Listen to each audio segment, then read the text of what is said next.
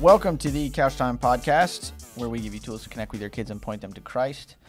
And we are going to start this off with a question. Uh, happy Monday, all of you listeners. If you had to describe how you feel right now by choosing an animal to represent that, what animal would you choose? Stephen, happy Monday. I'd pick. So for those who are just orangutan. listening, Stephen's mic is just said way high up, and now he's standing up on his What if I do the whole podcast like that? yeah, that. You said an orangutan? I'll pick an orangutan. Look at me. How Stephen, you feel like right your- now? That's like your life. Look yeah. at my look at my look at my arms. I'm like is an it because you're wearing a red shirt? That that plays into it. um, I feel like an orangutan. Uh, had a good night's sleep last night. Slept in a little bit. You know, enjoyed the night. His face is red, too. And my face is sunburnt from a little side trip to Georgia, and I'm just feel like I'm swinging around the branches, but could also just eat someone's face off at any moment. Dude, Jungle Book orangutan was not real. That's true. I don't know what but- that means. But not seen I've the seen new Jungle Book? I don't The understand new one? the joke. No. Okay. Oh, well, never mind. All that right. one's We'll intense. let yeah, we'll let people read into that and wonder. Sorry for touching my whatever. mic, Dad. I'm trying to. Yeah. Okay. Ryan, please Josh, don't give us a two-star Josh, rating if, for this. if you had to describe how you feel right now by picking an animal, what would the animal be? That is such a difficult question. Um, I. What if we picked animals for each other and that's how we had to feel all day? Stephen, can't I- tell me how to I- feel. I pick a sea cucumber for you today. sea cucumber? All right, sorry, we're getting lost here, parents. Apparently, happy, happy dolphin Monday. trippy. Happy Yeah. Monday. Yeah. Uh, yeah, that's just a f- random, random funny question, whatever. But can be helpful for an icebreaker when you're going to talk to your kids. And today, we hope to equip you with uh, some tools, some questions to talk with your kids and connect with them, uh, and hopefully. Um, build on the conversation that you're having, you know, pointing them to Christ, trying to to connect with them and understand their worlds and their lives, and help them apply Scripture and truth. Um, today in this episode, we're going to discuss camp, which I'm super excited about. Stephen, how excited are you for camp? Um, if you want to know how excited I am, go watch the podcast where we canceled camp. Yes. And I cried, and then Yes. do the inverse of that times four, which is means that I'm actually not crying. I'm filled with joy, and then add excitement because I didn't have it last year. On top of that, Yes. that would show how excited Yes. I am.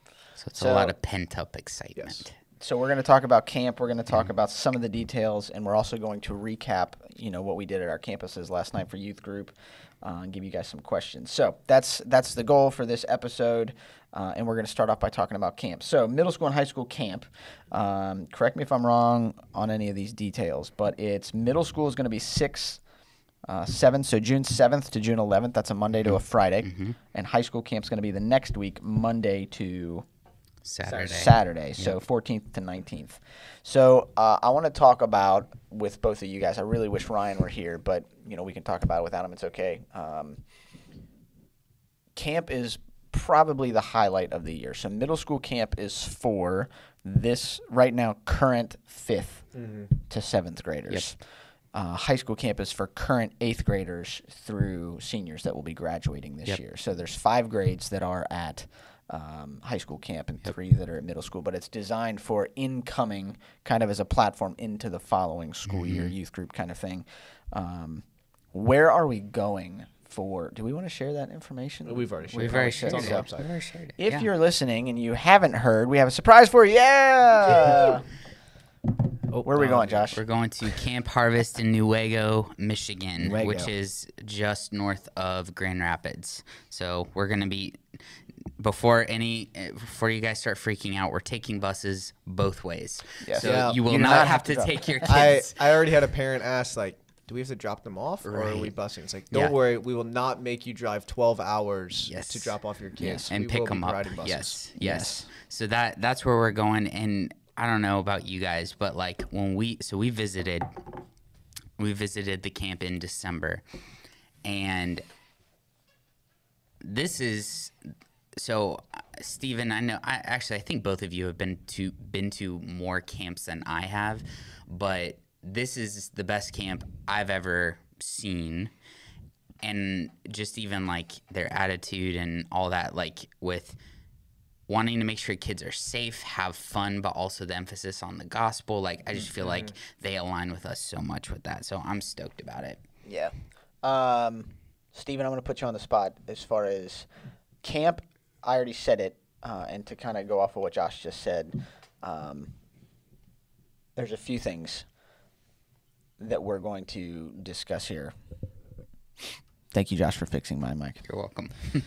Uh, there's a few things I want to discuss here that I don't know if parents have subconsciously wondered about. I know students have, but we intentionally do camp all together, three campuses. So youth group on Sunday nights, we have separate campuses. There's separate staff, but it's like we come together for summer camp. Um, and then I want to talk about a few other questions uh, after this. But why do we do camp, Stephen? And why are you excited about it? So elaborate why do we do camp and why should parents, listeners, teens be excited about camp? Yeah, I think there there's numbers of reasons we can talk about. Um, off the top of my head, I think one, when you the life of a middle school or high school student is very um, busy. It's very jam packed. Even if you look at your kids, you're like, they're not busy compared to me. Like, there's always people they're talking to. There's always things that they're doing. There's news that they're hearing. There's social media that they're on. There's videos that they're watching. There's school that they're worried about. Sports that they're stressed about. And while we do ministry with them every week, I feel like kids don't often take the time to like sit in and ponder what's been going on, how their life is going, what they believe about God, what they believe about faith. So when you go to camp and we get a week where students don't have their cell phones, they're they're in a new new location, a beautiful place with friends. Um, it really allows kids to take some time and evaluate what they believe, how life is going. to Am I saved? Am I not saved? Do I believe in God? Do I not believe in God? And the conversations and relationships that get built at camp are like um a catalyst like camp is a catalyst for relationships to like it grow and build so much faster than anywhere else because you're literally doing everything you're, you're doing life together in community as well as having conversations about faith as well as having a lot of fun and playing games as well as sharing meals together Yep. um, so at camp, there's just this level of relational capital that gets built. There's this depth of conversations that happen. There's this um, looking back on life and evaluating, as well as looking forward to the next school year. And I just think we see more um, life change at camp than we do throughout the school year as kids have time and, and create space kind of for the spirit to work in their life and not get chewed out by other things quickly. Yeah. Like you know, you talk about the parable of the sower, and I think during the regular school year, you know, different things can can get poured into your head, and the enemy can quickly just kind of fill it with other things. You don't think busyness, it. busyness, yeah, It it, goes it away. distracts. Yeah, But at camp, like you have to sit in that and think about it for a period of time, yeah. which is helpful. The way the way that I think about it and have talked about it with people is camp summer camp is an opportunity where we try to eliminate the barriers mm. that usually exist mm-hmm. in relationships. Mm-hmm. Mm-hmm. Um, furthermore, the goal is to try to create this safety, and in that is where people feel comfortable to be vulnerable, where Yeah. they mm-hmm. share what they actually think, they talk honestly and openly Yeah. that's where the gospel conversations happen. That's where mm-hmm. people can really listen when they're not defensive, when and you know people actually care about you. And so camp is an awesome time. Um, And also, our leaders now have a whole week to pour into your students. Yeah. It's like normally our leaders also they have full time jobs. They're busy. They're trying to work with your kids' Totally. calendar to meet with them. But now they have a whole week where they and don't have to worry about what happens. What happens during the school year youth group? I mean, investment camp is a huge investment, time wise, Mm-hmm. energy wise, money. It, but it pays off. You know, sometimes it's at camp, but oftentimes it's Mm-hmm. the following months and year, even in youth group, where you know Mm-hmm. kids that you connected with at camp. It's like you have a relationship with them Mm-hmm. that you can build on. It's a foundation that often gets laid. So, camp is amazing. Um, so, as a student ministry, though, we believe it. You're doing this. Yeah. Is that bad? I'm tapping Yeah. on the table. Yeah. Oh, sorry. uh, what was I going to say? We want to be a community that connects students to Jesus and the mission of the church. Community is one of the biggest things that we try to build. So I want to challenge you, listeners, whether you have teenagers, you know teenagers, you are a teenager, whatever. Um, consider encouraging somebody to to go to camp. Yeah. You know, so parents, who could your teens take to camp? Maybe there's somebody that they work with that doesn't have community. They don't go to church. This is an opportunity to invite kids that go to other churches to come to our church camp. They can anybody's welcome, but who doesn't have community? Who Yes. isn't plugged in? Yes. Who who needs a safe place to be to be known and to know mm-hmm. other people, to be loved and to experience the love of Jesus.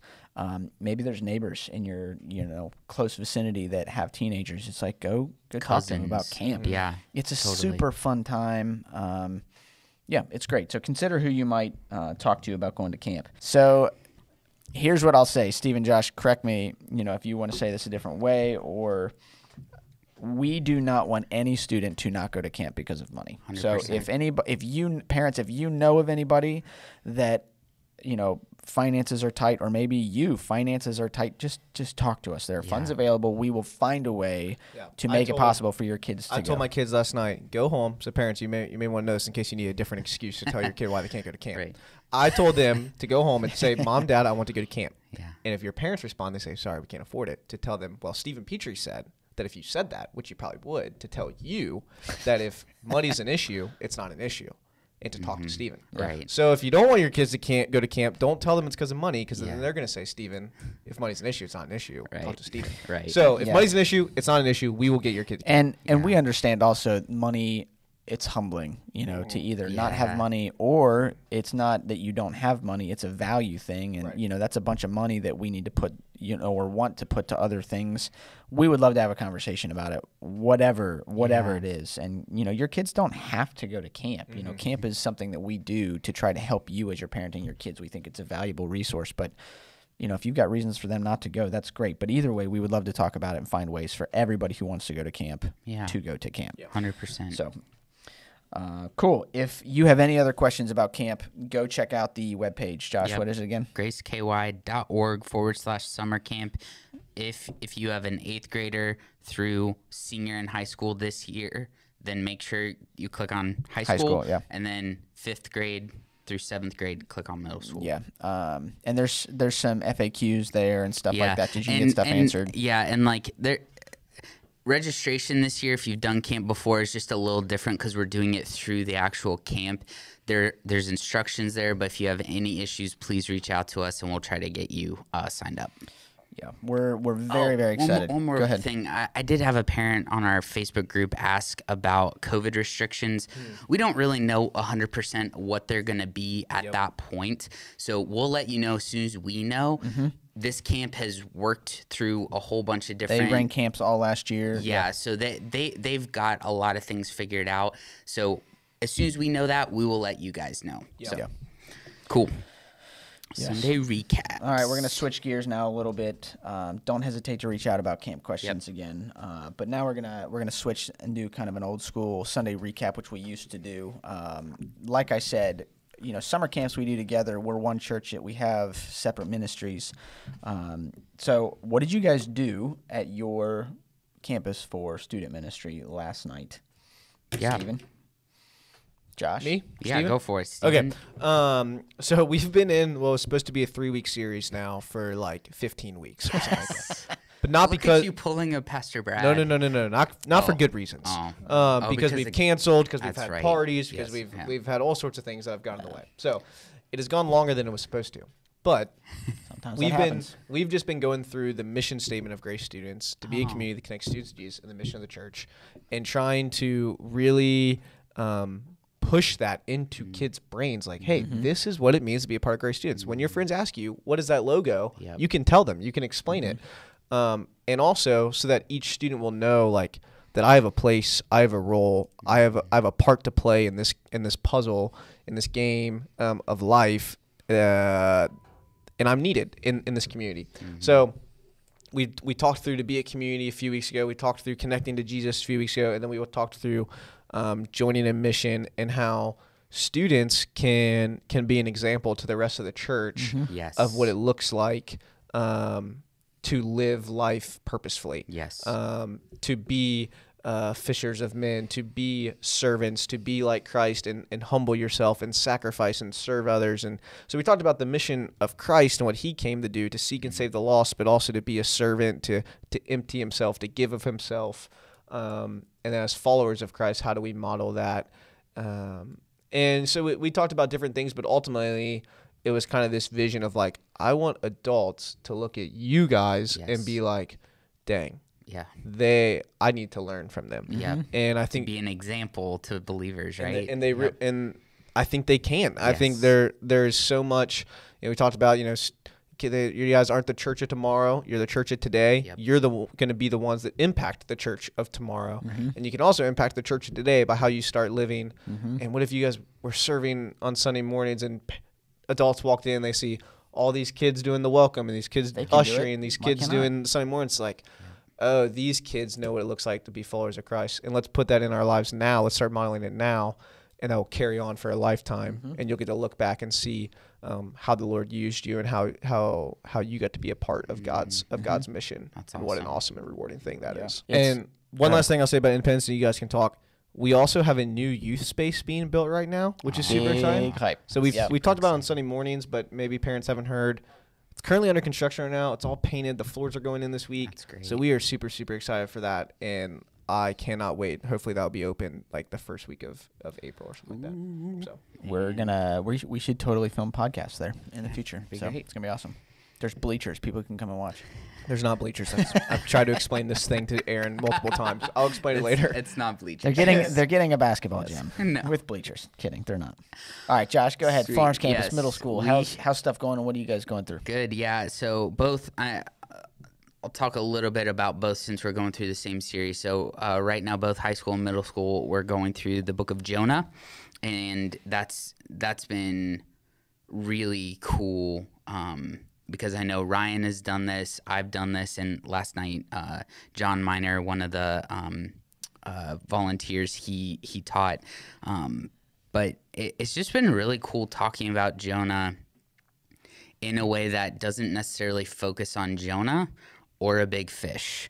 Like we've all been really trying to focus on who God is in this. There's so Um, much more in the book of Jonah than just the big fish and this literally Jonah guy. Yeah. the two lines. We always think about the fish. There's two lines. The fish ate Jonah and puked him up. Yeah. Like that's literally but what that's pretty crazy. it is pretty crazy. But we Let's also not overlook how crazy. That But we also don't like talk true. about how amazing it is Yeah. that like you know God like all of a sudden started a storm and stopped a storm. There's- and yeah, like yeah, there's you all know, kinds of stuff in there. Yeah. it's nuts. But um, you know the conversations have been really good in the groups, um, and yeah, just really highlighting who God is because that that's that's the big thing. Like if if we're gonna connect students to Jesus, like we need them to know how amazing he is Mm-hmm. and so um, just highlighting that and and trying to make it practical so that's been really good Super cool.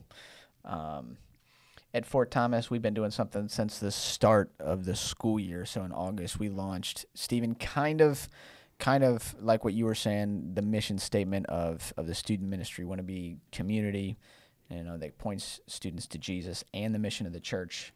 Sunday nights kind of was, hey, let's let's join in the mission of the church, and so we've been talking about the sermon series from Sunday mornings at Oh, Fort Thomas. awesome. But the whole point is like, hey, you guys, you guys are the church. Mm-hmm. You know, I don't want to just give you more information. Let's go deeper into the sermon that many of you are listening to with your mm-hmm. parents or on mm-hmm. your own, uh, and let's talk about it. And then, f- like, to take it a step further, how do we apply it? you know, and a lot of adult small groups. That's what they're talking about in their small groups. Sure. It's like, hey, guess what, guys? That's what we're going to talk about in our small groups. Of, well, let's take this word that is being preached that we're hearing, and let's what are we going to do with it, and let's pray for each other about it. So, that's what we've been doing. It's been really good. Um, yeah, I think overall Fort Thomas, it's been.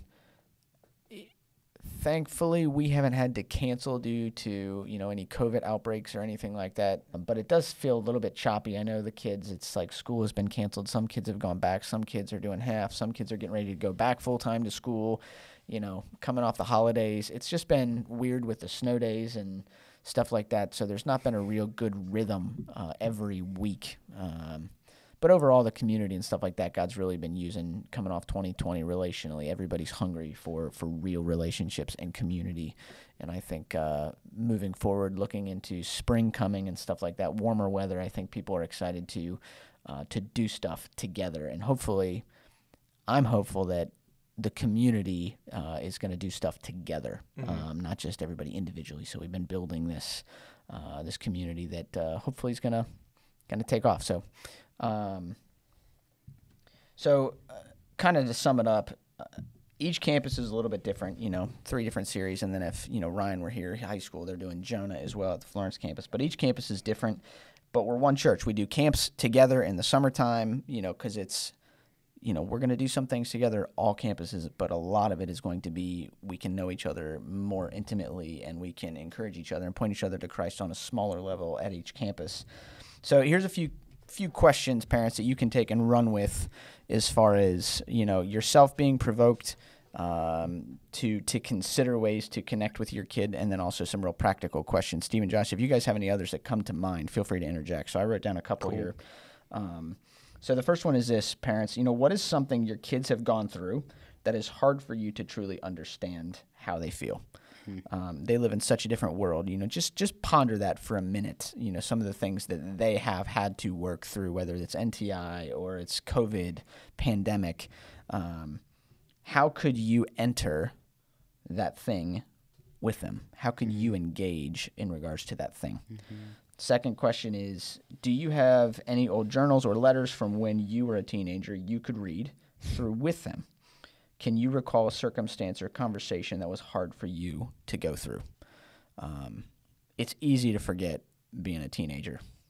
Um, but when I think about it, when I reminisce, it the immediate reaction that I get is empathy and sympathy for teenagers now. So parents, I don't know how old you are, but consider, you know, what was it like when you were a teenager and consider most of the problems circumstantially look different, but the heart of it really is probably not that different. Would you guys agree? The heart's the same. Um, yeah, so consider those things.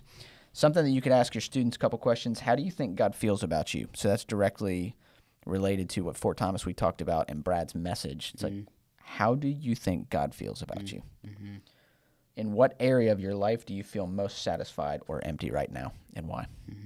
Um, so those are two things we talked about that Brad preached on that I think we should be considering, but also have conversations with your kids, whether they talked about it on Sunday night, you know, at your campus or not. Um, those are healthy things to talk about. Just figure out where the kids are at, gauge where they're at. What are they wrestling with? What are they struggling with? How do they view themselves in light of, you know, God? And how does God view them? What do they think about that? So, any closing things before we wrap up, fellas? no, I think that's those are great questions to end with. Super cool. We love you guys, uh, and we want to seek to help you as you parent and raise your kids. Always don't hesitate to reach out and let us know how we can do a better job of that. If you've got ideas, topics you want us to cover on the podcast, have a great week. Hey, thanks for watching. You can follow us on Instagram at the Couch Time Podcast. Let us know what you thought about the podcast. Also, let us know if there's any topics or things you'd like us to cover. You can comment and email us at podcast at graceky.org. Please like, subscribe, and share the video with other parents.